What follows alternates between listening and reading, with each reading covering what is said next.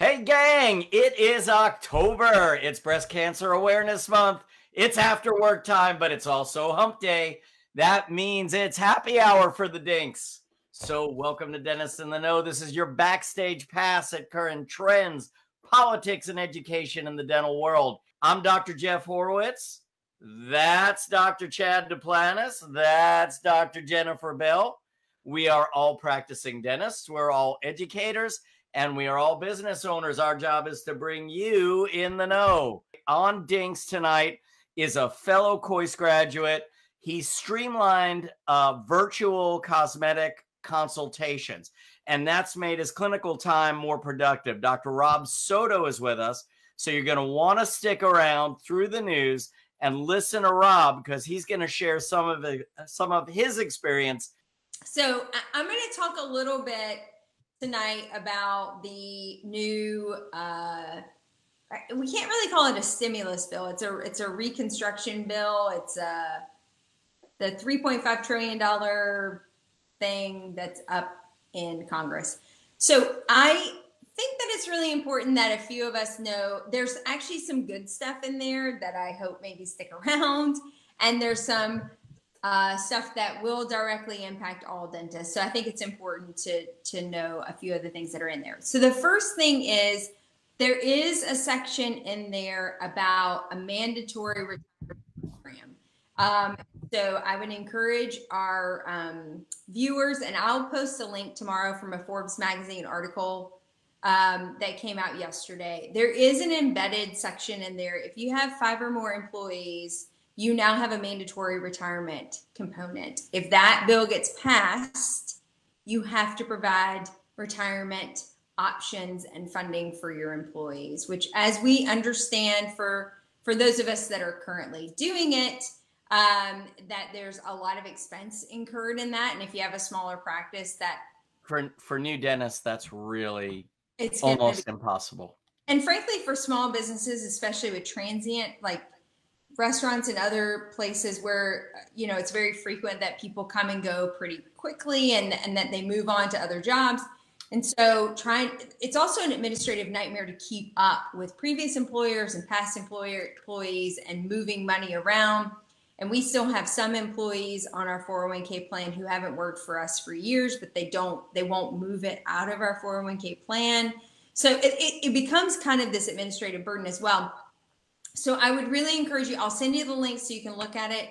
Um, but there, there's some heavy components to it. There's a match program that's required in there as well. It's a tiered investment from employees also, which you know it doesn't really uh, successfully address what do you do with your employees that are living paycheck to paycheck, and and now you're forcing withholdings for that. And anyway, there's a lot of nuances and administrative burden that I think we should understand and and probably be lobbying against so that employers can continue to make that decision based on what's fiscally responsible uh, for them as well as for their employees. So that's one of those little hidden gems, as we like to say, um, that that's embedded inside this large bill. Um, can, has- can I ask it, or can I air? I guess it's airing another grievance more than it is asking a question.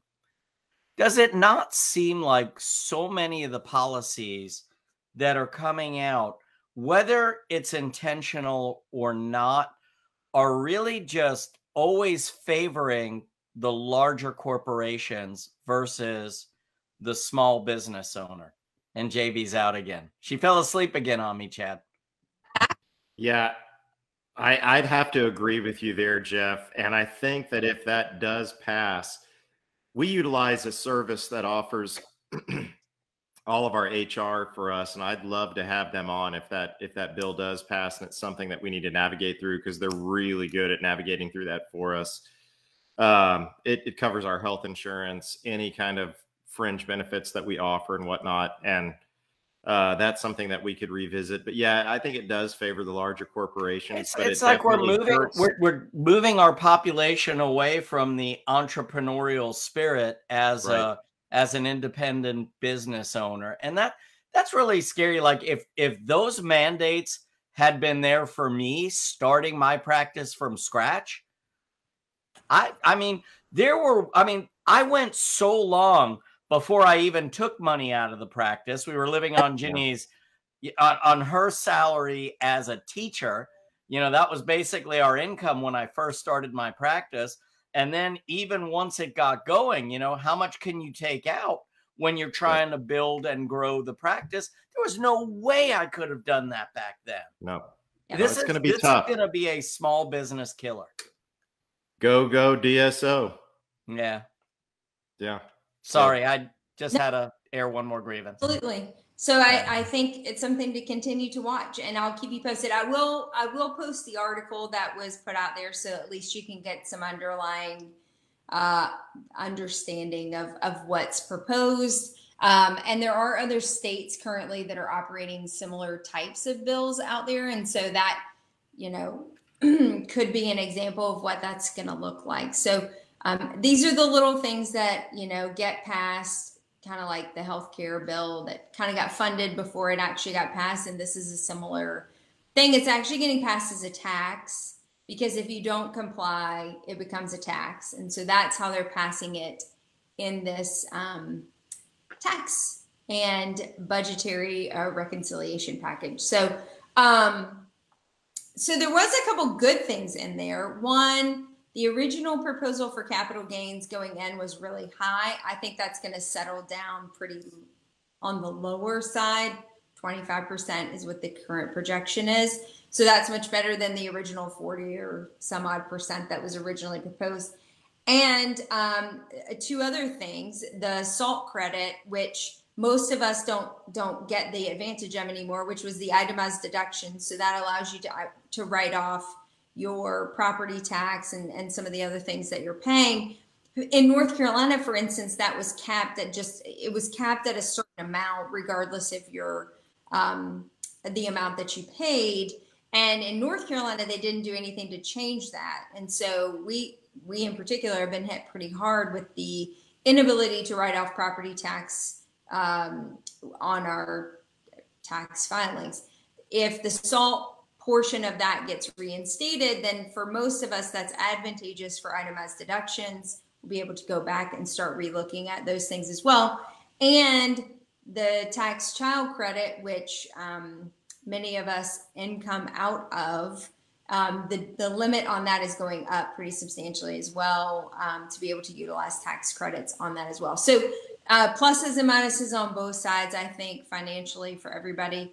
Um, and so that's that's your update from from your tax. I, I, just encourage folks to stay really engaged on this bill. There's a lot in there, including the the dental Medicare benefits for all and vision um, as well. And so there's a lot of um, financial implication for small businesses, for us as dental professionals and, um, and and maybe also a few pluses in there. So just making sure that your congressmen and senator senators know how you feel about different parts of the bill, what you're for and what you're against, to help them continue to navigate good decision making paradigms. Um, because it's it's a giant document.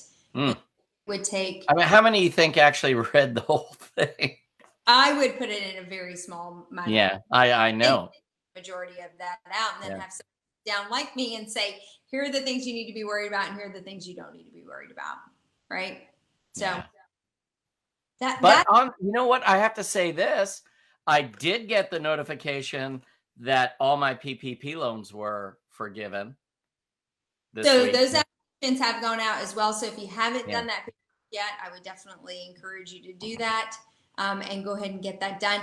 And we didn't really talk about this last week, but um, the HRSA has come out with another round of funding as well. There's some parameters included in there that you need to look at. And I will say the thing that was most obvious to me, if you're struggling, you should definitely look at um, you should definitely look at the, the details within that program because there is money available to oral health professionals out there.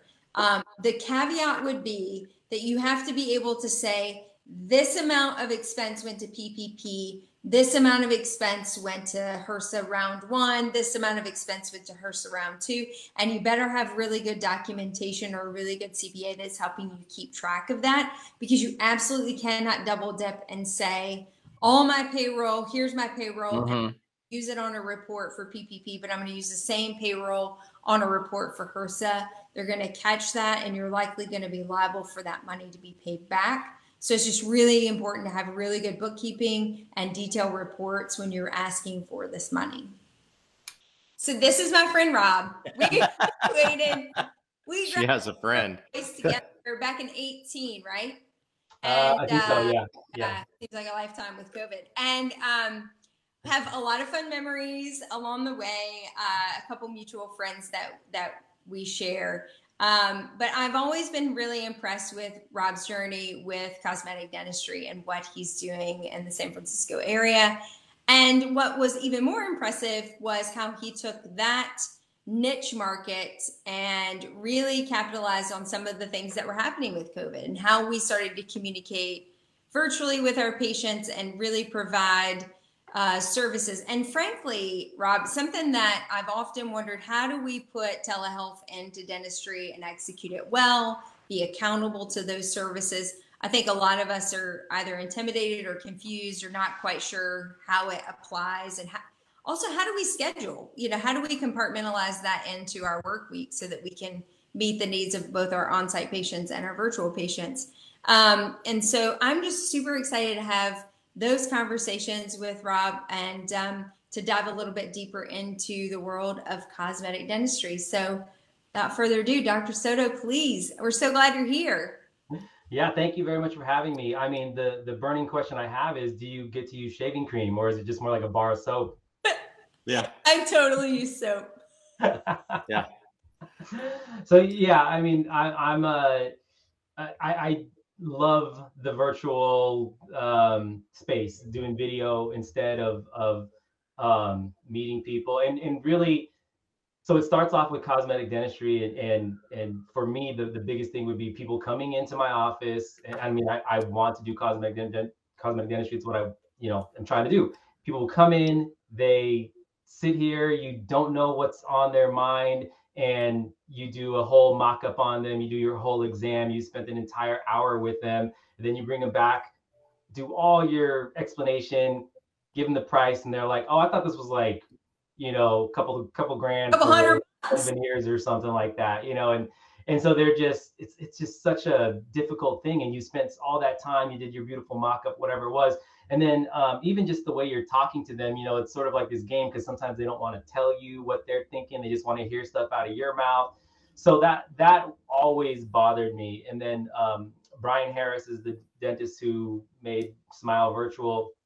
So he contacted me early on and told me about it. And and to me, it was like a no-brainer. This made sense to me because I was having that problem. I think I think it's more of a sell to other people. Uh, but at this point, for like like I said, for me, it just made sense. This was this was just a tool for me to have people send me some photos, for me to just explain away all of their options, and then they could come in if that made sense to them. So rather than, I mean, in one hour, I could do, you know, five or six, well, yeah, maybe like five consultations for for people just sitting here after work or at some point in the day, and um, I would say you know, one or two of them will probably actually contact me and and actually and come on in. And when they come in, they're ready to go. You know, there's not a song and dance. There's not a wondering what they're thinking. Um, so that that's on the cosmetic end. That's very specifically the virtual consultations. But but now, you know, if I'm doing a if I'm in the middle of work and I do a hygiene check and somebody wants Invisalign, I'll just tell my staff to take some pictures of the patient, make sure we have whatever X-ray we need, and then I'll contact them after. I'll just make them a video, just like you know we're doing here. But I'll put up. I'm doing a screen share, so I, I can have uh, other Invisalign examples up, all their photos up, point at stuff, send them a video. They can watch it on their own time, and then you know now I'm not spending because even if you spend 10 minutes in the chair talking to them about Invisalign, you know how good is that? You know if you can actually have some new photos and have it all organized and make it real concise then you know whoever that is can sit down with her husband or or you know husband with wife whatever it is and, and they can uh, look at it together and see if it's the right thing for them and, and then they can play it over again because they're going to forget all that stuff as soon as they leave the the um, the office but I, I, for me it's the way to go. I, I don't even if anybody contacts the office for anything cosmetic it's we just even if they want to make an appointment just straight to a, a virtual consultation uh, unless they're unwilling to do that does it geo restrict so that you feed from patients who are most likely to come? You know, because you are active on Instagram and, and you have a, a pretty decent media presence with some of the more popular laboratories as well. Yeah, uh, no, that that doesn't that doesn't happen. I mean, they're they're going to restrict themselves. I mean, if they're willing to come see you, they'll I mean, well, if they want information from you, they'll they'll submit a couple of photos and just put a little description of what's going on. And you know, I could see in their, you know, where their where their you know zip code is or area code is, and uh, you know, basically just see if this is someone who's who's local to me. So yes, if I get like a big influx of them in in a day and I'm like overwhelmed with them, I'll probably do all of my local people first. And then when I have more time, I'll go back and do the other ones. You know, again, they're gonna have a description of what it is that they want so if someone just puts a note, someone puts like a picture and it's just sort of like, uh, you know, like hard to even see their face and and they just write like how much, you know, like yeah. And they're from elsewhere. I'm like, it's, it's very, you know, unless I unless I really have a lot of time, then I'm, I'm probably not gonna be spending much time there or or I'll, you know, push that to the back burner. But then it's funny because then on Instagram I'll, I'll get people like, "Where's my consult?" You know, like so you so some of them actually are more serious. Yeah. Uh, and so, uh, yeah. Mm-hmm. Uh, my question is sorry to interrupt, Rob, but I, I guess I have a burning question here. Do you use a, and feel free to plug away because I'm asking, do you use a specific platform uh, to do these virtual consults? Yeah. Uh, like an app or a, a software and, and which one is it and why did you choose it? Yeah, so so the one I use is called Smile Virtual. That that's it. Smile Virtual and I, uh, like I said, Brian Harris is the one who made it. And I think there are a number of these things out there now, but he was one of the first ones to do it. And with them, uh, what's what's really nice is they have support. So they're gonna talk. I mean, support almost like motivational support. I mean, and and and the technical know-how because you have to learn how to talk with patients and what to say and not, you know, not sound too dull. I mean, there's just there are just better ways to do this and so you have them helping you out. So it's more than just having the app there. Um, so yeah smile virtual is what i use. Again there's there's like a little so there's gonna be a little link on my instagram page. It, it's in my um, it's on my website. It's, it's pretty much everywhere. So everything kind of points to this page and there's some information there. Just submit two photos ideally a selfie and then just a picture of their smile. Write down what they want and then it gets sent over to me and then again it's it's up to me to make that video for them. So i'll try to make a short video um, i'd say four to eight minutes long. And in that video i'm pulling example photos that i have. So the nice thing about having a lot of before and afters on instagram is i just can show those photos. So if i have their smile and if i have a smile that i've done that you know looks appropriate looks similar then i can just show them. And oftentimes i'll show them more than one you know i'll show them four veneers, eight veneers, 10 veneers, whatever it is that that makes sense for them. Uh, and then I'm giving them uh, an estimate. I'm giving them the how much time I think it's going to take. So they're getting everything, and that's that is something that also takes a while to figure out and to get comfortable with. Is to just look at a picture and to be comfortable to say, you know, you need an implant and eight veneers or whatever it is. So uh, and then also put a put a price in there so it, you even kind of start messing around with your prices because you want them to even sound more solid not you know not uh, $11388 you just want to be 115 or something like that yeah. yeah. So, can I ask a question, Rob? So, yeah. obviously, this is something that you're doing for for free, and, and it's great marketing. It's, I mean, I'm really interested in what you're doing. So, what kind of a conversion percentage do you need from that? So if you say I'm going to take an hour of my day, and I don't know, are you doing that every day? Or are you doing that every other day, every third day? If you're going to take an hour, you know, what kind of a conversion rate do I need to make that worth the hour where I'm not going to have other production? because I get the whole part. You can do, you know, you could do five or six of those consultations in the same hour that you'd have only been able to see two patients in your practice and taken up chair time. So it's definitely, I, I see it as way, way more efficient. But what kind of a conversion rate are you, are you typically looking for, or if you're comfortable sharing, are you seeing from from those consultations? Right. Um, so I'm probably spending probably about three hours a week doing this, and and really it's it's not fully set. I mean, if I I'll, if I have a hole or something like that, like a little break here and there, I'll try to do a couple of them. Um, in the morning, you know, I, I, get in early and I'll just try to punch out a couple of them. Uh, if they start to build up, and then I'm I'm coming in and I'm going to spend an hour and a half to just blast through a bunch of them.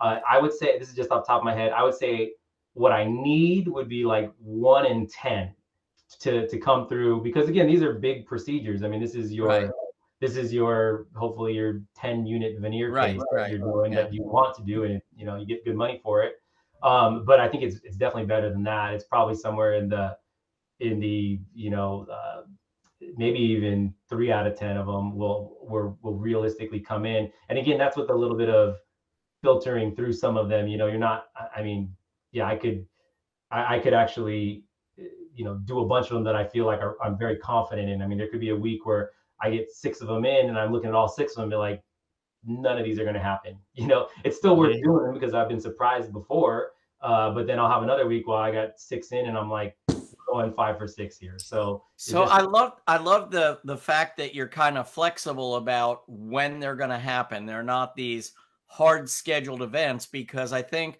something you just said is really powerful is that you said, you know, if I get you know, I finish a procedure early or somebody doesn't show up or somebody's sick, that's time that you are not going to be productive anyway. Right. And why not use that time versus adding additional time to the end of your day, taking time away from family, etc. So I think then it even becomes I tell us a little bit more about that flexible scheduling. So if you say, okay, I've got a break, how have you communicated with those patients that uh, you know here's how i'm going to contact you. Here's here's how this is going to go down well i think i think ver- the term virtual consultation is very confusing. If you just put up there um, you know contact me for a virtual consultation what does that mean? They they might think that you're going to do a facetime with them they might think you're going to send a picture and they're going to get a simulation back so it is important that wherever you are promoting this, that there's some level of description about this. So if it's on Instagram, you know, in your like in my highlights reel there, it, it you know the first thing is what is a virtual consultation or something about that. So just me, I'm probably wearing scrubs, just just explaining like what you're gonna get. Send me a couple of photos. I'm gonna give you all of your options personally, and it's gonna be a quick breakdown if you want to do it. You know, there's a couple buttons that you'll be able to press to ask me a question or to schedule. So that's important so that they know what's going on. Same thing on your website. If you could either have a video or some sort of explanation about it, um, and and that way they just sort of know what they're they're they're going to get. So again, this is why this platform is really good. And again, maybe the other I, I just don't know about what the other ones are, but all that explanation is in there because it's it's a bit confusing to to to someone sending you photos like why should i do this? What are you going to do with this?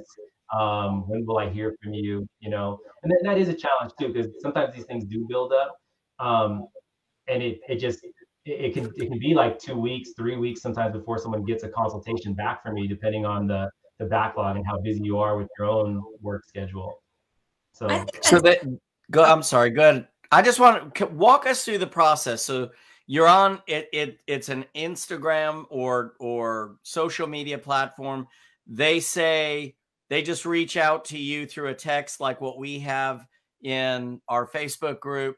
They reach out to you through a text and say i would like a virtual consultation and is there a reply right then or or how how does that go? Yeah no so so uh this is always how it seems to work. I'll post a case on instagram a nice before and after. It gets attention and then um, in my post, it'll say, you know, something brief about the the case I just did, you know, 10 veneers, smile makeover, whatever. And then it'll say, and then my next line is, you know, if you are interested in cosmetic dentistry, porcelain veneers, click the link in my bio, send me a couple of photos, and I'll send you a video consultation about, you know, your teeth or something along those lines. So now they can go to my bio and uh, and click that button and and then it, it goes to a, it's just going to open up a page where they can actually you know they'll type in their name their information and um, just drop in two photos so they can just take the photos on their cell phone and it will then i'll get an email and that's i think it'll they'll get an email response like you know your consultation has been submitted give it a, a week or something like that and mm-hmm. i get an email that says that i have a new virtual consultation lead um, so then I'll I'll go into mine. So I think we got like you know three or four of them today. So I'll go in and take a look at them, and and if I have time, I'll I'll start recording a consultation for them. And the thing is, you have done something for free that they were not expecting. That's very personal from personal from a doctor, you know. Um, so it it it blows their mind. I mean, it is it like you know you'll get an email back like, oh, thank you so much, you know, um, if it's for them or not for them. I mean and um, and again, and there's buttons on there too. So if they if they hear it and and at the end, I pretty much tell them like this is just information. You know, you you can move forward with this if you want to. You can hold on to it. Maybe it's for the future. But if you have questions, press this button. If you have if you're ready to go, let's press this button and someone's going to reach out to you. So then my office gets another email if they press that button, and it's just basically their phone number. So they'll they'll call them up and even I mean my staff they'll they they'll, they'll have like a little printout of what it is that I talked to the patient or you know presented to the patient and um and then so it's it's not a live telehealth then it's not a live right telehealth. right okay yeah I mean you Got can it. do that no but this this makes total sense because you're able to do this all on your time without having to worry about a scheduled appointment with anyone so Absolutely. I love that well, yeah. and Jeff, you could do that with sleep. I mean, think about if you uploaded a few documents. I could do that could, while I sleep. Not while you sleep. With oh. Jeff Primary, I mean, he does a huge. He's huge focus is uh, TMJ and sleep, um, and so you know, how could you incorporate that in your world to eliminate those soft leads that come in? who sit down and you say, Yeah, these are the things you could do. And then they're like, Oh, I thought you were just going to fix it, you know, just yep. or whatever. Or I thought it was free or, you know, whatever it happens to be. So I'm sure that there's a lot of application within dentistry, not just cosmetic dentistry, that we could utilize this for to sort oh, of no doubt. Yeah. Yeah. There's, there's, an orthodontist who does a ton of this stuff. He does even more than I do. Um, so I only know of one that does it. So Mm. Yeah, lots of applications. Uh, Rob, where is your practice? I'm in San Francisco, so I'm right downtown in Union Square. Very. Oh, you uh, are okay. I thought that's what I read, but I wasn't sure, and so that that's great. I mean, what what a way to capture a market. I love how you manage expectations for the patient as to what they're going to get. But in talking to you, I love how you manage the expectations for dentists who are thinking that maybe this is something that you do. And it's a great attitude to have because you're like well if i get one out of every 10 then i'm happy because these these these are kind of pie in the sky and you're not going to get every single one of them you know? If somebody thinks they're going to get 10 out of 10 they've got another thing coming to them but with what you're doing i think that your your conversion rate will probably increase over the years or your cons or, or your consultations will increase so much that your conversion rate remains the same but you still get a ton of patients from right it. so right. yeah yeah, like I said, it works. It works very well. Um, I, and it is also like a bit of a skill because you have to learn to to get to the point and to not bore them, and and um, also like figure out what they want. You know, a lot of people you you do need need to say some technical things, but really it's it's emotion. You know, they they want to know what this is going to do for me. So if you're sitting there saying, you know, we we use some really good bonding technique over in this office, like that doesn't matter. They want to yeah they want to know that it that it's potentially going to change their life. So I That's understand great. you trained at uh, at UOP. Is that correct? I went to UOP Dental School. Yes. Yes, and so you might know um, some some professional uh, uh, friends of ours, Dr. Uh, Farood Hakim. Oh yeah, and and Dr. Mark Geisberger. Yeah, of course. Yeah, yeah. So Dr. Brian Baliwas. Dr. Brian Baliwas, yes. yeah, yeah.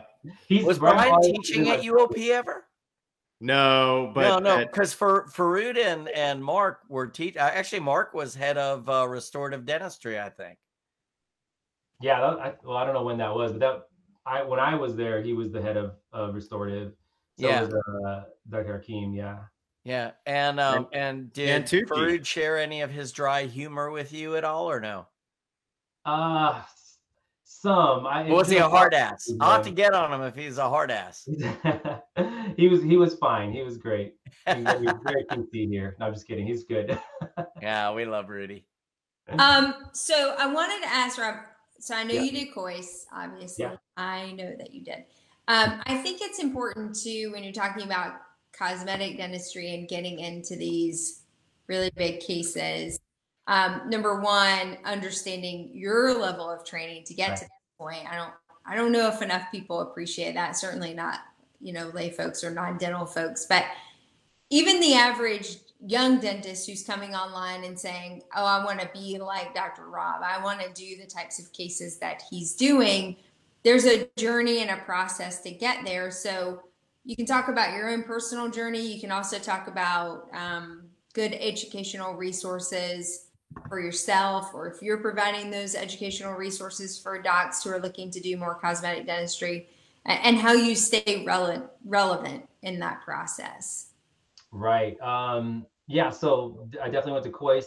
I think something that really, really helped me a lot, and I, I just I, I always feel bad saying this because I don't really have a good source for this, but I, I was able to do a hands-on course early on. It was through the dental lab, Frontier Dental Lab, that I that uh, that I was using. And so before I ever even went to Kois, I did a case and I kind of you know sent it over to the lab, and they're like, "This is impossible," you know, pretty much. And and I talked with uh, one of the head lab techs, and he pretty much gave me a um, Kois deprogrammer and kind of walked me through how to use it. So I used a Kois deprogrammer well before I went to Kois.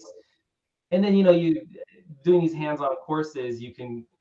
I mean, I think it's so good because even before you take the classes, uh, I, you know, you have a doctor behind you, but you just get to feel what it's like to have a whole, you know, 10 or 12 teeth prepped. And if it's the first time you've ever done it, you know, the first time you do it, you're like, whoa, we're in the middle of something right now. You know, like you're in the thick uh, and you just have that little moment of, of, of realization of what you just did to somebody. So, of course, you go to you get those cases done. We, we all we all have squirmed in those seats. Yeah. Yes. yeah, haven't redone any of those cases at, at all. So they're all they're all still lasting. But then you go to Kois and like it is just so clear what's going on because it's it's not just didactic. I mean, you you're living you're you're learning this off of your experience. Um, you're you're remembering all these things. It's not just so when the first time I do this, I'm gonna you know take this information I'm learning. No, you've already done that before. So anyway, that that is a great thing if you can get something under your belt before you attend one of these big classes like Kois. Uh, so it's you know there's there's experience and there's something like Kois and, and really I feel like Kois has done so much for me not getting knowing when to stay out of trouble. And, i would say as simple as just making sure you understand the importance of good overjet before you try to do something pretty on teeth. Like if you don't have that and you think you're just going to get away with some veneers one it's either not going to look good because it's going to be very short whatever you're going to do or two it's going to break or be extremely thin and very fragile and it'll eventually break. So I feel like those are those those things are there. I, I mean, I don't use the, the Kois deprogrammer a heck of a lot. Um, I do, uh, I definitely do sometimes, but it's not. It doesn't. It doesn't. It's not incorporated into all of my cases. I mean, if it's cosmetics, you know, four veneers, ten veneers, you don't always have to do that. Oftentimes, you just got to send them to. I mean, you just do it, or you might do a little bit Invisalign first. That's about it.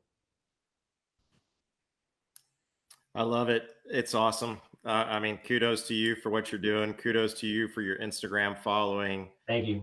I, I think uh, 1,200 plus virtual consults. So that's 120 cases. Yeah. I'm teasing. But no, great, great, great stuff. Thank JP, you did so you know much. Chad could do math? I actually think he'd already figured that out on his calculator. I didn't know. I actually saw I him. really like do. I saw him actually with his face down, pen to paper. I, Yeah. There you go. I totally knew it. But I knew Sorry. he couldn't do it. He Well- love it. Yeah, the kids the kids had the abacus, so I had to use the iPhone. Um, I'm so glad you were on tonight. I, it- it's Yeah, one, thank it's you. good to see your face because I haven't seen you in a really long time with COVID and everything else. yeah. It's fun to watch your journey online. It's fun to see your colleagues succeed, um, and Thank love you. what they're doing and be good at it. And I, I love this. This was awesome. I, I got to check in uh, every Wednesday. everyone, Every Wednesday. exhausting, It's wait, it's live and, and it's over a over cocktail. cocktail. okay. So I I just I want to show this because I I think we've- we've said this a lot tonight, but all four of us can certainly relate to this. Um, one of our users, I can't see who it was, It was it was it was my boy David Dudlick. David. I, I just want to let you shadowed know in my that office. He's one of my son's close friends from middle school and high school, and I'm so proud of him. Well, David, I'll tell you what, buddy, you're not alone. We all have had the pucker factor from delivering our first set of veneers. And, you know, there's even cases that I do to this day, 22 years, that I still have the pucker factor on. Yeah, so don't no worry, doubt. buddy. I'm just trying No to tell you in a nice way. It ain't going to go away quick. So, Yeah. Don't you you'll never lose that muscle mass, the the pucker the pucker muscle. So I will tell you though, I one of the big pieces of that is having a good relationship with your lab, and I know Rob has a really good relationship with his lab. Um, how does that develop over time? How do you communicate your expectations? How do you give them what they need? Because I do think there's still there's always this disconnect. I don't do lab work, so I I understand how to do dentistry, but I don't know what the challenges are on their end because I've never made a pressed veneer, right? So I, I'm assuming what I know, but I, I don't understand fully. So how do you build that relationship and how do you get deliverables that you're excited to put in people's mouths? Yeah, you know that that is a that's a great question, and it's I feel like there's just there's a lot to it. I mean, obviously it develops over time. I do think that like sticking with the same lab and kind of working with them, and that way you are. I mean, here's the thing: is like the the lab that I use is is Frontier Dental. That's the main one. The- the- There is another lab that I'll use occasionally, um, but with with Frontier, I've been using them for a very long time, and they they the way they market is it's it's really aggressive. And so they have a lot of dentists. I mean they, they've told me that you know before they used to have to go out and try to get someone to give them one crown or a couple try us you know. And now they just get um, you know fedex boxes with an impression for 16 veneers and they've they have no clue who the doctor is. Like that's that's what's going on with them. And so they're expecting something beautiful. So they're you know doctors like myself and other doctors who actually post their beautiful work it's sort of like, you know they they only have so many master ceramists. And at this point because i've been using them for 10 plus years that you know i, I do get to to to use the guy i want to use I, I don't ever get bumped to somewhere else or be told that there's not enough time to do my case um, so i think i think that's part of it i think definitely giving impeccable records is part of it you know if you if I mean, it's a little bit of a guess, but I think if someone's sitting down with beautiful photography, with beautiful impressions, like my guess is they're they're happy to work on this case, you know. Um, it, it, and I feel like a common thing would be like someone takes an impression. Sure, you've got those eight veneers, but the molars you didn't even get the molars or something like that. So the model's a, a total mess to begin with. Anyway, so I think records are really important, um, and I, I do think that you need to be good at communicating what you want, not just yelling at them when it's not right. Okay, like you cannot. Amen. Um, Yeah. yeah, you cannot say something was wrong without being very specific about what needs to be changed, and that will, you know, set set the tone for what you want going forward. And you can actually develop a style with them. And the other thing about labs is they're your so this is like a side note. My my buddy, he's getting he's doing veneers on his wife, and he doesn't really do veneers. And he's like, I'm gonna I'm gonna use Frontier Rob. Um, and I'm like, okay, you know, like is there you can do this on your wife, all right? So he's like, he's I'm gonna use them. I'm gonna ask for ideal. I'm like, you're just gonna like write ideal, like that's what you're gonna do. So you know, you gotta know, you gotta know what it is that you're gonna you're gonna tell them very specifically, um, and and just be able to communicate that in in some very clear way. I personally like video. I like sending them sending them a video, pointing stuff out on the video of of what is that they that I want from them. Um, I like to get pictures back from them, even mid case if if uh, if that's what's called for, and I'll draw on those and send it back. And everything is very quick though. It sounds like I'm being like a total stickler on these things, but but everything is just a quick text or something like you know something easy. So I, I, think that you hit on a couple of things that I really hit on when I when I speak to groups is that you know you've got to communicate, you've got to provide a lot of attaboys, but you've got to find a contact in the lab to start with and hold that contact accountable at the lab. And I always say, if you ask for a veneer on number seven, you're going to get a veneer on number seven. Yeah. but you've got to be able to appropriately ask for a veneer on number seven and communicate verbally, written, and with images as well to that lab technician as to what you want and why and the anticipated outcome. Because if you don't and you just get a veneer, veneer on number seven, you're the waiter that brings the food to the table. You're the one that's always going to get shamed. You can blame the lab all you want, but ultimately it's your fault. So you know I, I, I yeah think- you know I, I put so so i always send an example photo to the to the lab of the case you know whatever whatever i want. But the same thing is you can't just send that photo. You need to point out what about this photo correlates over to our our case. And the thing is a lab tech sees things different than than than i see. You know if i'm if i'm looking at the you know the edge shape or some sort of line angles uh, they may be looking at the translucency or the color, or just the texture. So like you have to point out exactly what about this case is is what you were trying to hit on. Exactly. Well, Yeah. guys, we're at 929, so we have to close this out. Uh, but Rob, I I love I love talking with you. I love what you're doing. I think um, I, I think you motivated a lot of dentists tonight for sure. Um, we had a lot of good engagement. I love what you said about not just complaining when it's wrong, making sure that you, you know, they put a lot of space on a lab slip to write so you can write what you want, not so you can write veneer number seven, like Chad said. So, Yes. um, ideal, ideal, yeah, video ideal. number seven. Th- thanks Deal. for all your tips and your tricks, and um, hopefully we'll get you back sometime soon. And um, and just thanks for taking time out to be with us.